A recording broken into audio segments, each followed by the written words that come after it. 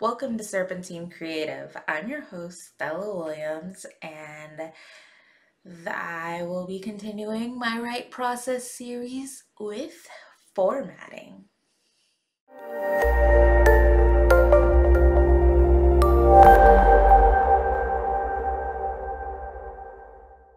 Hey y'all, so today we're going to talk about formatting. So regardless of if you're going the traditional publishing route or the self-publishing route, you will have to do some sort of formatting of your work.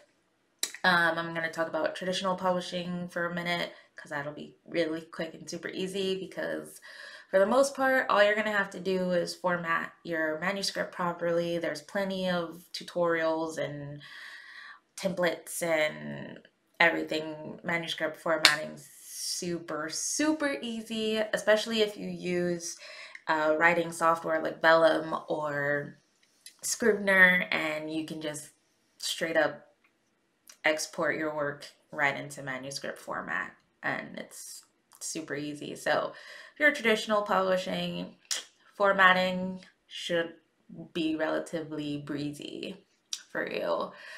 Um, there's other parts of traditional format uh, publishing that are much more tedious than with self-publishing, but I mean, formatting just isn't one of them. Now on to my self-publishers. Welcome to the club. Welcome to the club. I mean, I know I have a publishing company now, but I still kind of consider myself self-published because I am still publishing myself just now with my company. I don't know if you guys you can debate that or not. Am I self-published? Am I indie? Am I just regular? I'm not traditionally published, obviously, but uh, back on topic. So, uh, formatting for self-publishing. Um, this is where it kind of gets a little complicated because depending on what you're writing, like if you're writing a fantasy novel or if you wrote a comic book or if you have a children's book uh, there's all these different things that you have to think about with like print size if you plan on print or if you just do want to do ebook um, there's like print sizes and margins and bleeds and it can get pretty complicated and there's lots of lots and lots of blogs on it. But if you plan on going through any of the print on demand services, luckily they have each have their own PDF guide and templates to help you with figuring out format the proper formatting for your style of writing and choice of uh, publication. So uh, the easiest one by that I've tried so far would be through Amazon.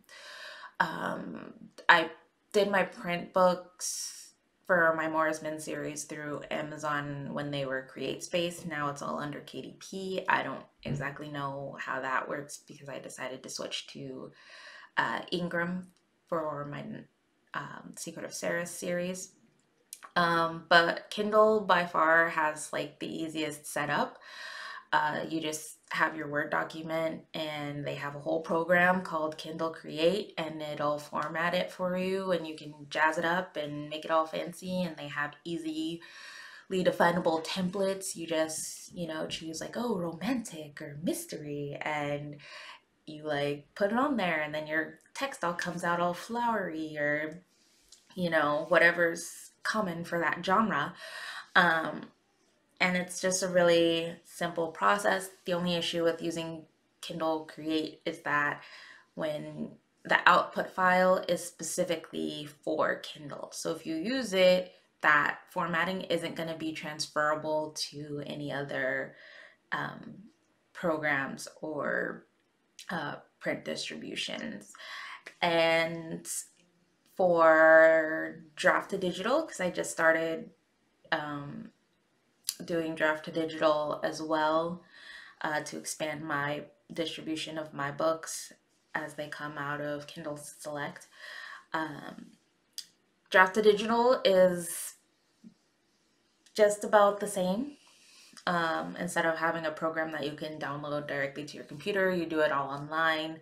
So there's like trial and error with that. And uh, they have a similar setup as um, KDP Print now, uh, where you can, where they take your ebook manuscript and uh, convert it to a print on demand file like PDFs so that you can get print books from it as well. Um, I'm not sure about Draft to Digital's quality because, like I said, I'm going through Ingram Spark for my print books now. Um, but uh, let's see, I can show you real quick.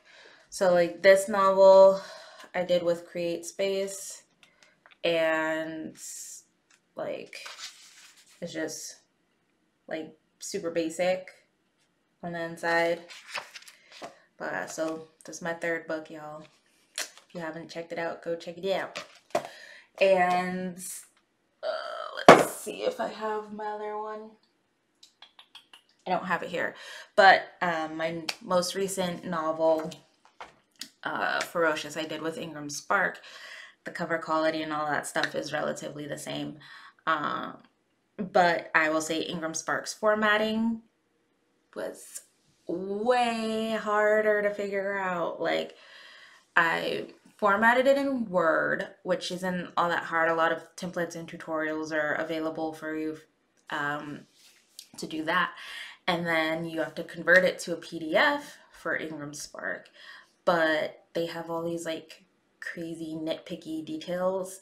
And I know it's supposed to produce a better quality product, but even being like someone who's done book formatting before, it took me a good three or four tries before I got it to specs.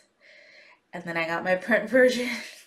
and even after even after doing the proofs, I got my print version and all of my extra pages to make sure that all of my stuff was like aligned properly were like deleted.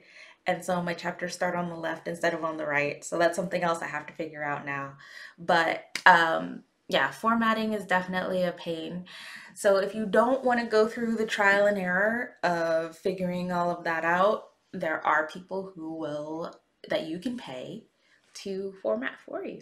Like no shame in the game. If that's something that you want to budget for, you can go ahead and do it. And I mean, formatting is generally not that expensive. Uh, you can get your book formatted like on Fiverr, although um, I don't know. I use Fiverr a lot. There's certain things I don't use it for.